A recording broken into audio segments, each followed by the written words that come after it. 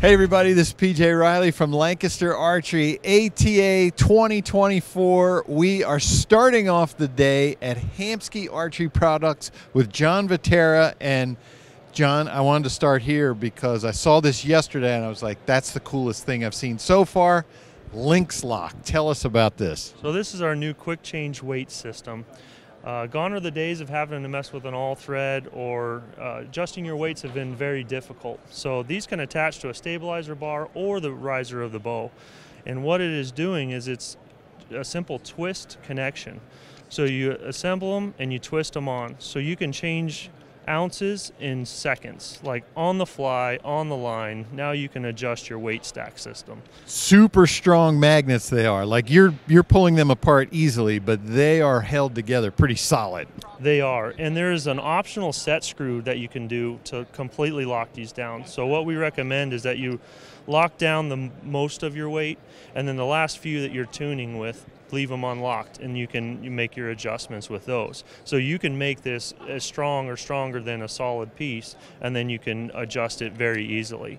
So run through the options of what you have there, the different purposes and weights of each of these that you have on there. Yeah, so you start off with a starter weight. So this two ounce starter weight can go onto stabilizers or it can go onto risers.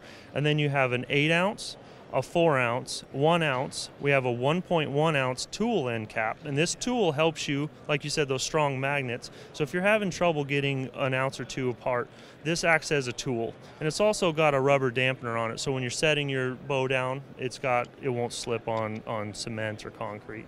And then also we have a flush end cap here, and this is for like your back bar. This is your your pretty end cap, so it's nice and neat. And you know to change that over, it's that easy in your shooting. And so, what I wanted to talk about, John, a little bit about was the process to get here, because this thing looks cool, sleek, and everything, but it's been a while to get for you guys to get to this point. Yeah, this has been over a four-year development process for this. This is looks like a very simple product, but it's actually one of our most complicated products that we've come out with. So, it's been a long journey, but you know we got it right, and now we're ready to to release it. I like what you were saying that you know obviously one of the things that you wanted to make sure wasn't happening was vibration. If someone had a big stack that you wanted them not to vibrate, so just little things like offsetting the magnets so they're constantly pulling. Yeah. You only figured that out by trying it. Yeah, there's been a lot of trial and error, and there's been harmonics of a bow, especially of a target bow shooting, uh, are incredible. The vibrations, harmonics cause all kinds of issues to connections. So really working through that and a lot of R&D and a lot of testing. There's there's a lot of science into these little things that I don't completely understand. That's why we have smart guys. Let's tell them who you had using this and what you had them do to finally make sure everything worked. We've had a lot of people testing them, um, and we've had a lot of guys that shoot a lot of weight 30, 40 ounces on these, all with one ounce connections, uh, and they've been working really well. So you'll see some shooters start to shooting them. We Everyone hasn't totally figured out who's going to be able to shoot them, but there's some big names out there that'll be shooting them that have helped us develop these over the years.